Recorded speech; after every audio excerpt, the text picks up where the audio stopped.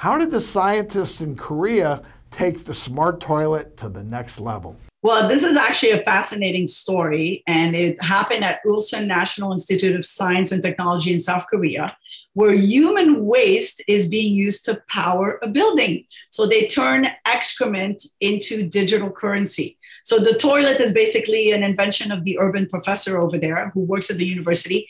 He employed a vacuum pump to draw waste into an underground bioreactor. And at that point, microorganisms break down the uh, waste to methane. And then methane becomes a source for energy for buildings, powering your gas stove, water boiler. It supposedly reduces water.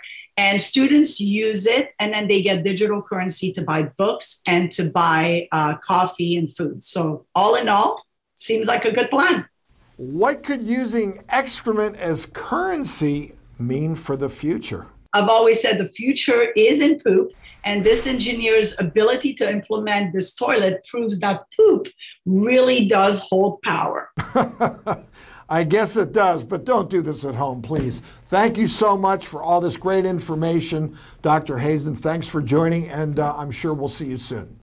Thank you so much. Our pleasure.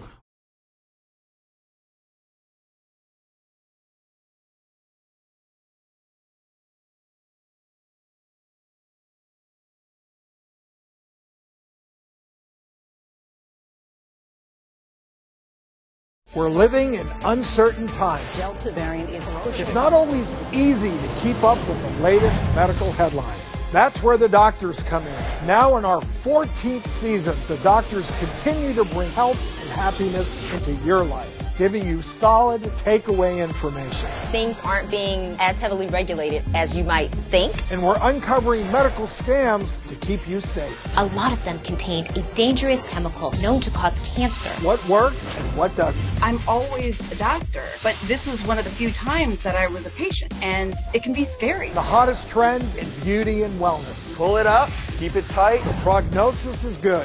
The doctors, a prescription for a better you.